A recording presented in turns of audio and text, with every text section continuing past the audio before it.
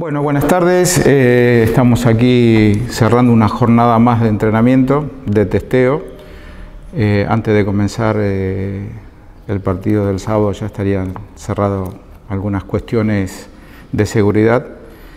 Eh, me acompaña María Rosa, que es nuestra jefe de prensa, que seguramente va a decir unas palabras también con respecto a lo que al desarrollo del día sábado. Eh, voy a ser lo más claro posible y lo más eh, breve posible en esta explicación, arrancando de que el día sábado es el primer partido de Sarmiento con Villa Dármine, vamos a dar la patada inicial como local y vamos a dar la patada inicial también en implementar el protocolo que nos ha bajado AFA, que no es un capricho de los clubes, es un protocolo muy cerrado, muy rígido que nosotros vamos a implementar. De principio voy a empezar de afuera hacia adentro, eh, el estadio va a estar vallado en las cuatro esquinas que comprenden eh, los alrededores del club, con personal policial y vallas a los efectos de no permitir el desplazamiento vehicular para así prevenir algún tipo de accidente. Eh, eso vendría a ser eh, para nosotros lo que es el protocolo la zona 3. Voy a la zona 2, donde va a ingresar eh, dirigentes locales, dirigentes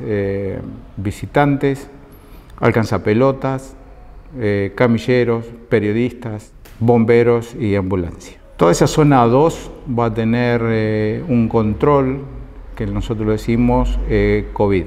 Ese es el puesto COVID, va a estar integrado por cuatro personas que van a tomar temperatura, van a dar lectura a las personas que están autorizadas a, ingresar con un listado que obviamente nuestra jefe de prensa va, a copiar y nos facilitar a los efectos de, dar cumplimiento a esa parte. Cuando digo que no es capricho, vamos a estar controlados, eh, no solo por nosotros mismos, que esto es así, este, esta enfermedad ha venido para quedarse hasta que no salga una vacuna y los protocolos hacen a que nosotros sigamos compitiendo. Y voy a la zona 1, que es la más cerrada, la más controlada, la más rígida, que es la zona 1, donde van a estar pura y exclusivamente los planteles y las personas que hemos sido testeadas, que es la burbuja infranqueable para personas ajenas a, a ese sector. Está comprendido por los planteles, los cuerpos técnicos, los cuerpos médicos, el jefe de prensa, eh, y quien les habla. Esa zona va a estar muy cerrada, que son, son los vestuarios visitantes, local,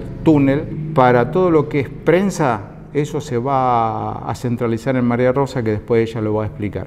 Quiero ser muy claro en este tema. Nosotros no vamos a poner en riesgo a, a ninguno de los dos planteles, como así tampoco vamos a permitir que gente quiera empañar lo que para nosotros es eh, un aprendizaje más eh, en esta pandemia y que eso nos, lleve a que nos clausuren tres fechas o nos cobren algún tipo de, multa porque eso es lo que, lo que va a pasar si, si nosotros transgredimos alguna norma. Esta norma no la vamos a transgredir por una sola cuestión de que es una enfermedad, eso se debe entender, se debe comprender y bueno, nosotros lo vamos a, cumplimentar a rajatabla. Eh, los señores dirigentes de cada club tienen el protocolo, eh, principalmente el nuestro, tiene el protocolo bajado a cada uno de los integrantes que deben leer, comprender y entender.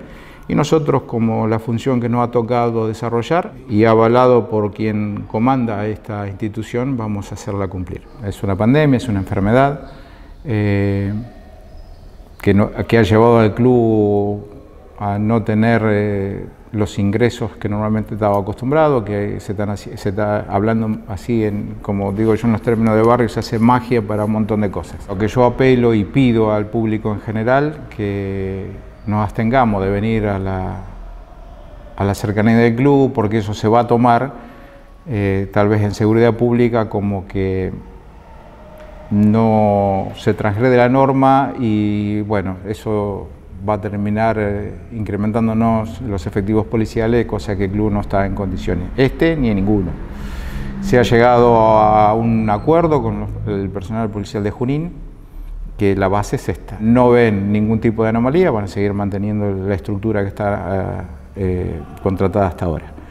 Con respecto a los señores dirigentes, al periodismo en general, que siempre y es es entendible después de, tanto tiempo que invitemos gente y demás, eh, lamentablemente yo no voy a hacerme eco de eso y voy a regirme pura y exclusivamente por los listados que me pasa a prensa, que a su vez yo debo elevar a, la Asociación de Fútbol Argentino a través del vedor que va a venir junto con Eterna Arbitral. Gracias, eh, Raúl. Eh, bueno, yo les voy a explicar un poquito cómo va a ser el tema de la prensa.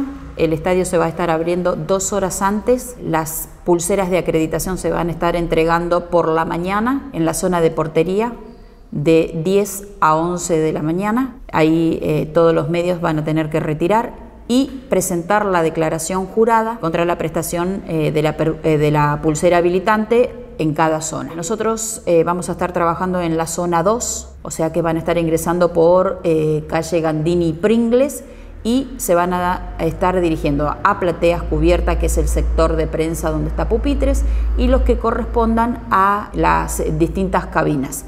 Cabe destacar que en las cabinas va a haber solamente dos personas y una tercera, que es la otra que eh, vamos a tener acreditada en, los medios que tienen transmisión en vivo, va a estar en el sector pupitres.